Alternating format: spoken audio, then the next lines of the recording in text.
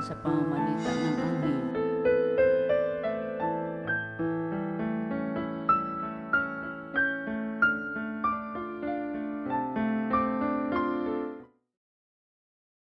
Pangan mo kami ng kanyang pagkabuhay na magmuli sa kadakilaan sa langit sa pamagitan ni Yeso Kristong aming Panginoon. Amen.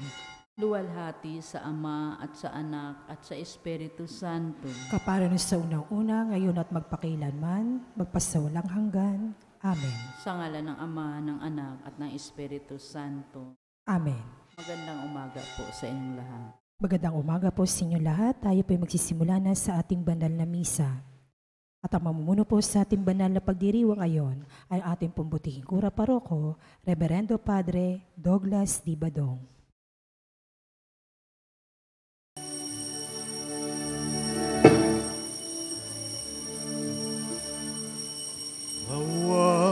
nami laging dinigin Sammo nami yung pakinggan Tinig nami bigyang pansin.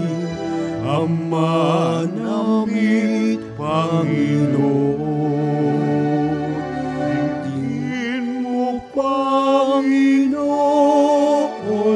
ang aming kahilingan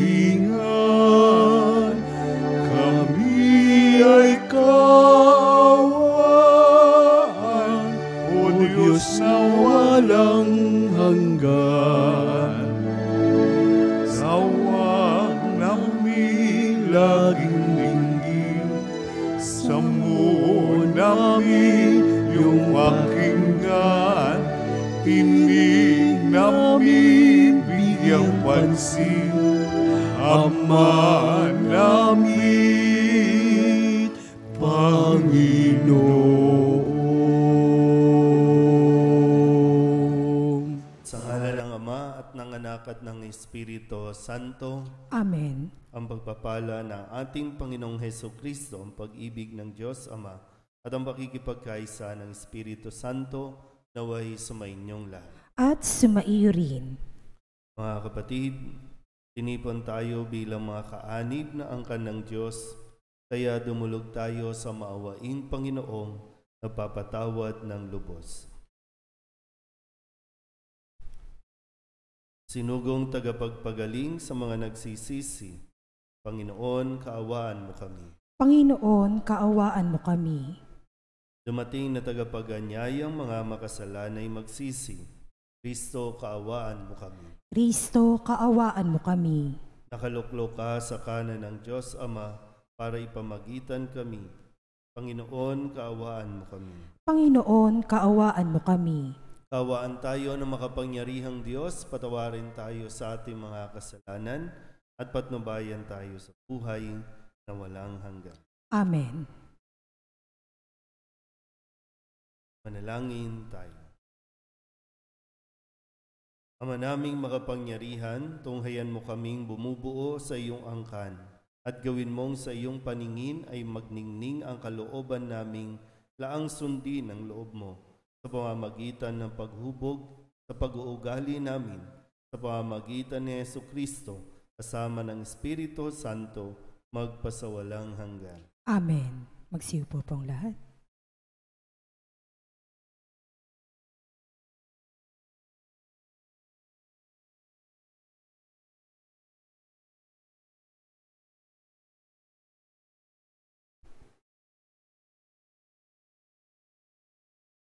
Pagbasa mula sa aklat ni Propeta Isaías. Sinasabi ng Panginoon, ang ulan at niyubi, paglagpak sa lupay, di na nagbabalik. Aagos na ito sa balat ng lupat, nagiging pandilig. Kaya may pagkait butil na panghasik. Ganyan din ang aking mga salita. Magaganap nito ang lahat kong nasa. Ang salita ng Diyos. Salamat sa Diyos. Salmon tugunan ang ating pong itutugon. Matwid ay tinutulungan sa lahat ng kagipitan. Ulitin po natin. Matuwid ay tinutulungan sa lahat ng kagipitan. Kadakilaan ng Diyos ay ihayag. Ang ngalan niya ay purihin ng lahat. Ang aking dalangi dininig ng Diyos. Nawala sa akin ang lahat kong takot. Tugon, Matuwid ay tinutulungan sa lahat ng kagipitan. nagalak ang aping umasa sa Kanya, pagkat di nabigo ang pag-asa nila. Tumatawag sa Diyos ang walang pag-asa. Sila'y iniligtas sa hirap at dusa. Tugon, Matuwid ay tinutulungan sa lahat ng kagipitan. kinukupkop ng Diyos ang mga matuwid at ang taghoy nila'y kanyang dinirinig. Nililipol niya yaong masasama hanggang sa mapawi sa isip ng madla. Tugon, Matuwid ay tinutulungan sa lahat ng kagipitan. agad dinirinig daing ng matuwid. Inililigtas sila sa mga panganib. Tumutulong siya sa nasisiphayo. Ang walang pag-asay, hindi binibigo. Tugon, Matuwid ay tinutulungan sa lahat ng kagipitan. Magsitayo po ang lahat. Ikaw aming Ikaw mo'y aming susundin, Ikaw mo'y aming tutukin.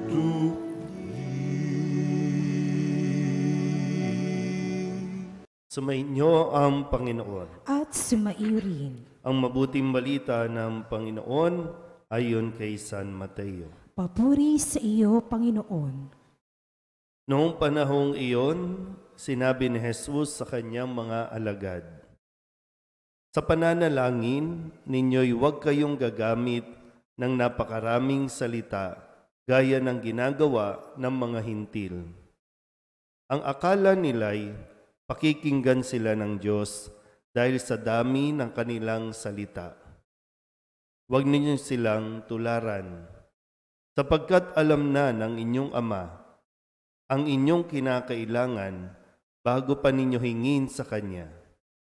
Ganito kayo mananalangin.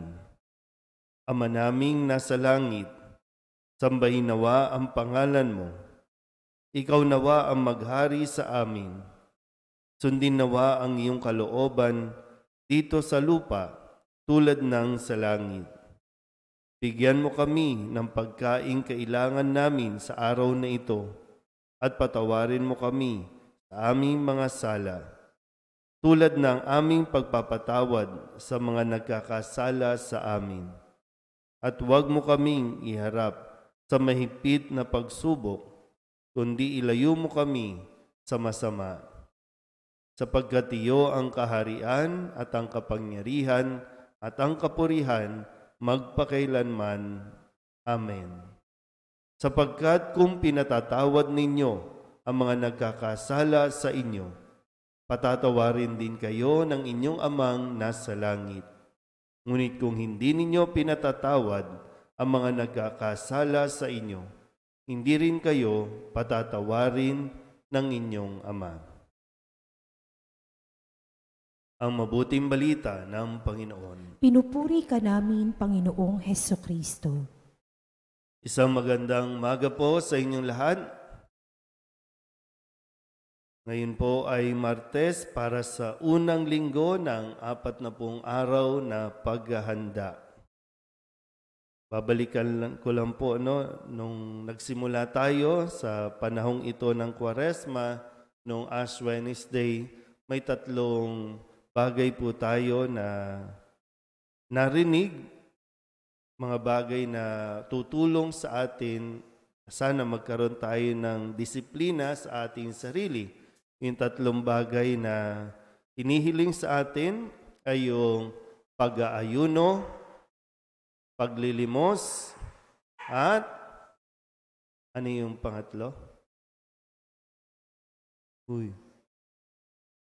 Pag-aayuno, paglilimos, panalangin.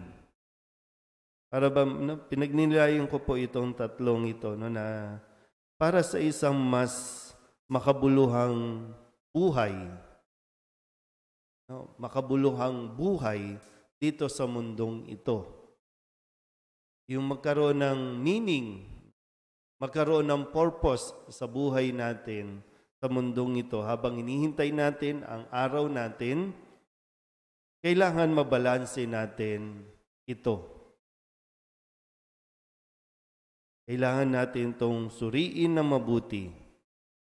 Parang dito din nakasalalay, no? Kung para mas maging buo o ganap ang kaligayahan ng isang tao, kailangan ang tatlong ito.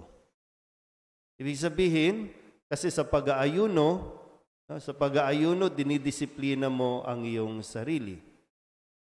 Paulit-ulit na sinasabi, ibigin mo ang iyong kapwa gaya ng iyong sarili. Kung, kung wala kang pagpapahalaga sa iyong sarili, paano ka magbibigay ng pagpapahalaga sa ibang tao? At lagi yung sinasabi din sa atin no, na yung ugnayan mo sa iyong sarili, pangalawa, sa paglilimos, pinapaalala sa atin yung paano o yung ugnayan natin sa ating kapwa, nasa ang level ba? Mayroon ba tayong pakikipagkapwa-tao? Mayroon ba tayong pakialam sa ibang tao?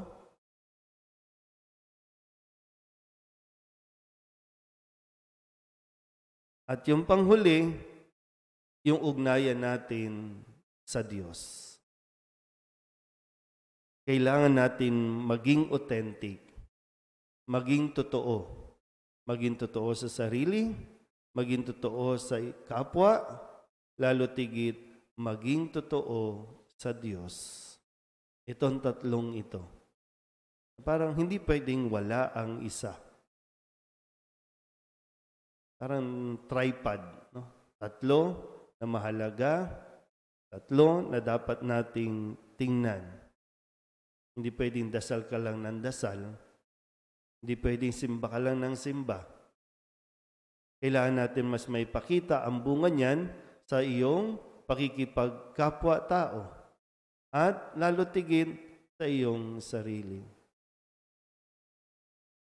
Sabi nga, no, kailangan natin muna rin matutunan mahalin ang ating sarili. Tanggapin ang ating sarili. Para nang sa ganon, masasalamin ito sa ating kapwa. At magagawa lang din natin yan kung meron din tayo authentic relationship sa Diyos.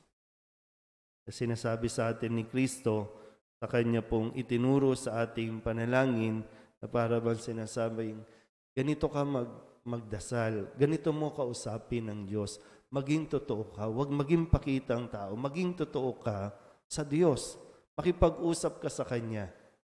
Nang wala kang no, tinatago, nang wala kang nililihim, na hindi mo kinakailangang mahiya sa Diyos. Kasi ang Diyos na sinasabi ay Diyos na pwede mong tawaging Ama. Hindi yan Diyos na napakataas, na napakalayo. Pero nga po, no? nagsisimula naman po ang isang authentic na relasyon sa pagiging totoo. Magpakatotoo. Dahil kahit ano naman tago natin sa Diyos, alam naman niya. Walang maililihim sa Diyos. So muli no, sa panahong ito ng Kwaresma, pagtuunan natin ng pansin sa apat na pong araw na ito kung kamusta ba ang ating relasyon sa ating sarili, sa ating kapwa, at sa Diyos. Amen?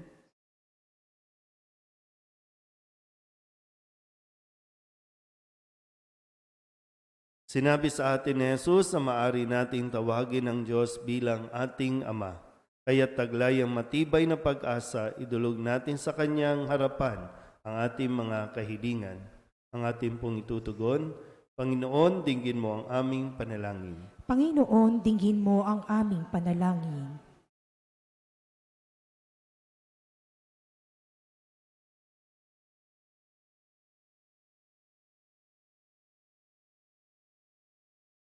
Ang simbahan, naway maging isang tahanan para sa mga naliligaw ng landas, ulila, mahihina at bigo. Manalangin tayo sa Panginoon. Panginoon, dinggin mo ang aming panalangin. Ang simbahan sa buong mundo, naway laging magpahayag ng matibay na pagtitiwala sa pagdating ng kaharian ng Ama, isang kaharian ng pag-ibig, katarungan at kapayapaan. Manalangin tayo sa Panginoon. Panginoon, dinggin mo ang aming panalangin. Sa kabila ng mga kahirapan ng buhay, tayo naway manatiling ma- nananalangin at hindi magpadarang sa tukso. Manalangin tayo sa Panginoon. Panginoon, dinggin mo ang aming panalangin. Tayo naway magkaroon ng sapat na kakanin para sa ating mga pangangailangan sa araw-araw at ng kadakilaan ng puso upang patawarin ang ating mga kaaway. Manalangin tayo sa Panginoon. Panginoon, dinggin mo ang aming panalangin. Ang mga may sakit at maging ang mga nangangalaga sa kanila. Naway makatagpo ang Diyos sa kanilang pagpakasakit araw-araw. Manalangin tayo sa Panginoon. Panginoon, dinggin mo ang aming panalangin. Ang mga yumauna ay makaharap nawa ang Diyos sa kanyang tahanang walang hanggan. Manalangin tayo sa Panginoon. Panginoon, dinggin mo ang aming panalangin. Dulog din natin sa Panginoon ang ating mga personal na kahilingan at mga panalangin para sa ating mga pamilya. Kasama ang lahat ng mga kahilingan ng mga nanonood sa online. Lahat ng mga misang pasasalamat, natatanging kahilingan, mga kagalingan para sa mga may sakit, at ang lahat ng mga kaluluwa na inihiling na ipagdasal sa misang ito.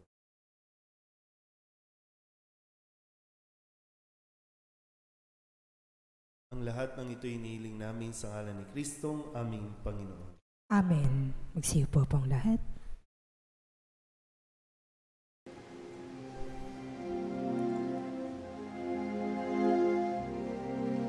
独身。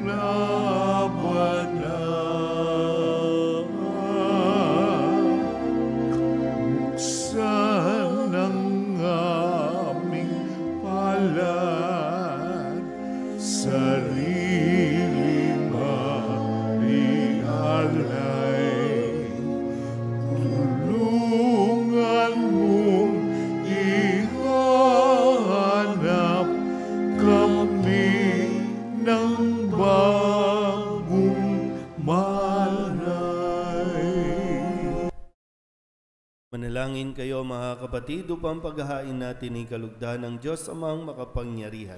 Tanggapin nawa ng Panginoon itong paghahain sa iyong mga kamay, sa kapurihan niya at karangalan, sa ating kapakinabangan at sa buong sambayanan niyang banal. Ama naming lumikha, inihahain namin ang amin ding tinanggap mula sa iyong kagandahang loob sa aming lahat. Ang pagkain at inuming ito ay pakinabangan nawa namin bilang tagapagdulot ng buhay mong walang maliw. Sa pamamagitan ni Yeso Kristo, kasama ng Espiritu Santo, magpasawalang hanggan. Amen. Sumainyo ang Panginoon. At sumaiyo rin. Itaas sa Diyos ang inyong puso at diwa. Itinaas na namin sa Panginoon. Pasalamatan natin ang Panginoong ating Diyos. Marapat na siya ay pasalamatan. Ama naming makapangyarihan, tunay nga marapat na ikaw ay aming pasalamatan sa pamamagitan ni Heso Kristo na aming Panginoon. Binibigyan mo kami ng bagong pagkakataon upang ganapin ang paghahanda ngayon para sa pagdiriwang ng muling pagkabuhay. Kaysa ng iyong anak na minamahal, aming inilalaan ang panahon, talino't yaman para ganapin ang iyong kalooban na ang kapwa-tao ay lubos na damayan.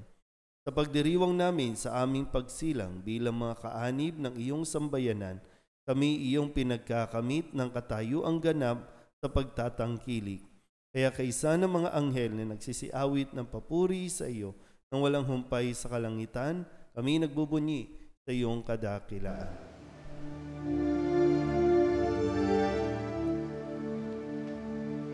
Santo, Santo, Santo, Panginoong Diyos na makapangyarihan,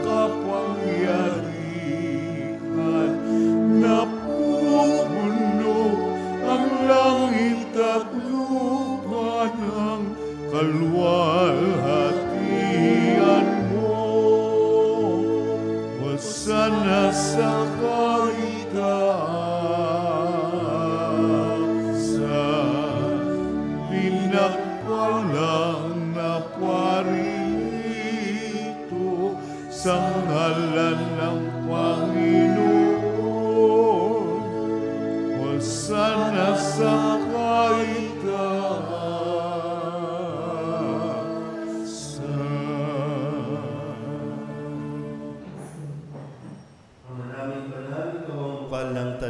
kabanalan.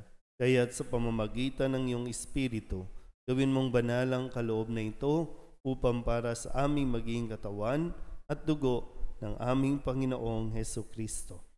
Bago niya pinagtiis ang kusang loob na maging handog, hinawakan niya ang tinapay, pinasalamatan kaniya, pinaghati-hati niya iyon, iniabot sa kanyang mga alagad at sinabi, Tanggapin ninyong lahat ito at kanin. Ito ang aking katawan na ihahandog para sa inyo.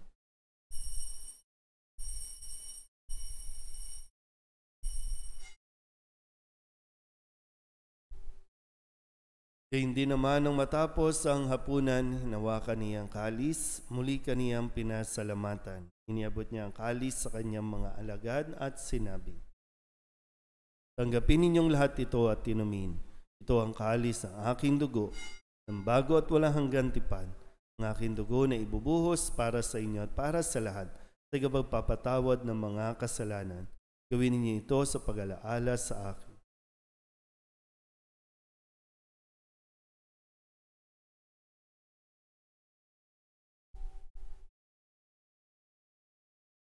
Ipagbunyi natin ang misteryo ng pananampalataya. Si Kristo'y namatay, si Kristo'y nabuhay, si Kristo'y babalik sa wakas ng panahon.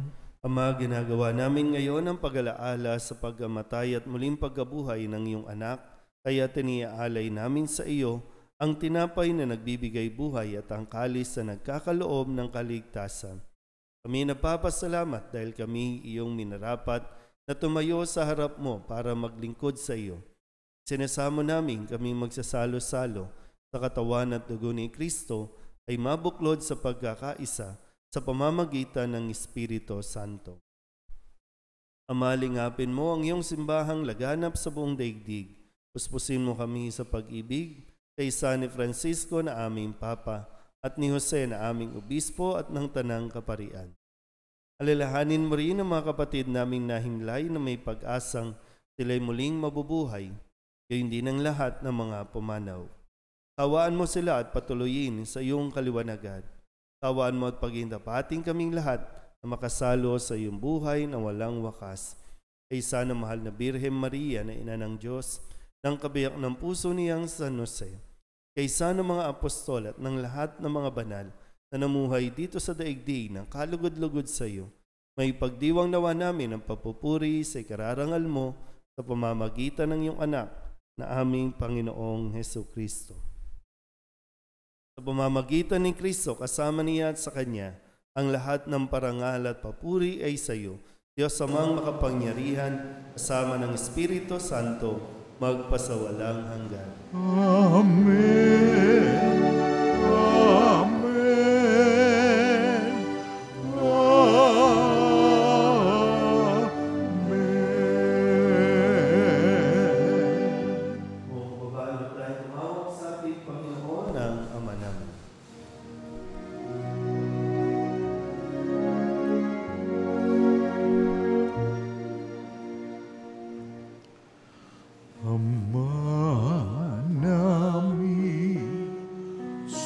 Counselor.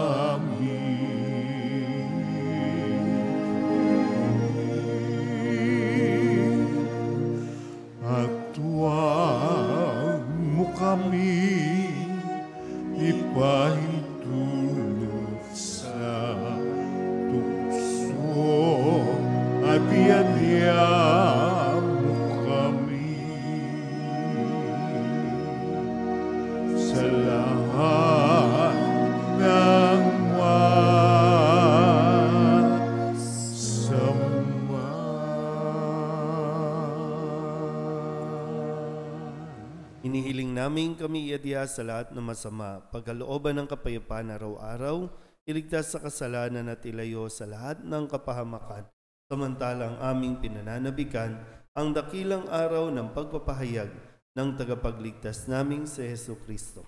Sapagkat iyo ang kaharian at ang kapangyarihan at ang kapurihan magpakailanman. Amen. Panginoong Heso Kristo, sinabi mo sa iyong mga apostol, Kapayapaan ang iniiwan ko sa inyo, ang aking kapayapaan ang binibigay ko sa inyo. Unghin mo ang aming pananampalataya at huwag ang aming mga pagkakasala. Pagkalooban mo kami ng kapayapaan at pagkakaisa ayon sa iyong kalooban, sama ng Espiritu Santo, magpasawalang hanggan. Amen. Ang kapayapaan ng Panginoon ay laging sumainyo. At sumaiyo rin. Magbigayin po tayo ng kapayapaan sa isa't isa.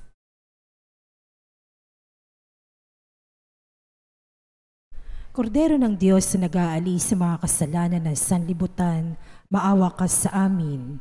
Kordero ng Diyos na nag-aalis sa mga kasalanan ng sanlibutan, maawa ka sa amin. Kordero ng Diyos na nag-aalis sa mga kasalanan ng sanlibutan, ipagkaloob mo sa amin ang kapayapaan. Magsiluhod po ang lahat.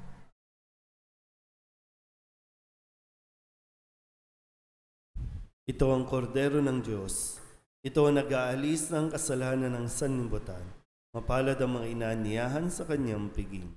Panginoon, hindi ako karapat dapat na magpatuloy sa iyo, ngunit sa isang salita mo lamang ay gagaling na ako. Kawa ni Kristo, Amen.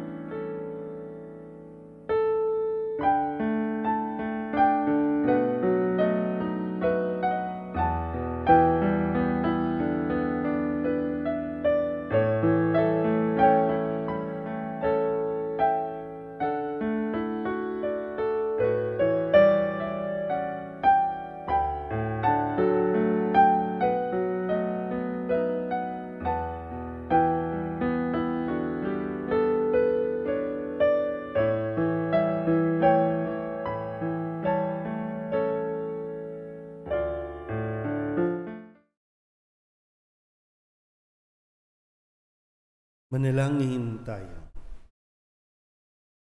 Ama naming mapagmahal, naway aming pakinabangan sa aming pagdiriwang ang pagkahubog ng aming hangarin sa buhay upang mahalin namin ang iyong mga pinahalagahan sa pamamagitan ni Yesu Kristo kasama ng Espiritu Santo magpasawalang hanggan. Amen. Sumainyo ang Panginoon At sumaiyo rin. at pagpalain kayo ng makapangyarihang Diyos, Ama at Anak at Espiritu Santo. Amen. Tapos na ang banal na misa, humayo tayo sa kapayapaan ni Kristo. Salamat sa Diyos. Magandang umaga po. Good morning po, Father.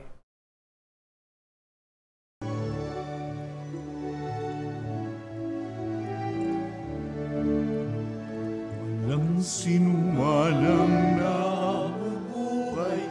para sa sarili lamang. Walang sinumalang namamatay para sa sarili lamang. Tayong lahat ay may pananagutan sa isa't isa. Tayong lahat ay tinipon ng Diyos na kapiling pagmamahalan at paglilingkod sa kanino man, tayo ay nagdadala ng balita ng kaligtasan. Tayong lahat ay may pananagutan sa isa't isa.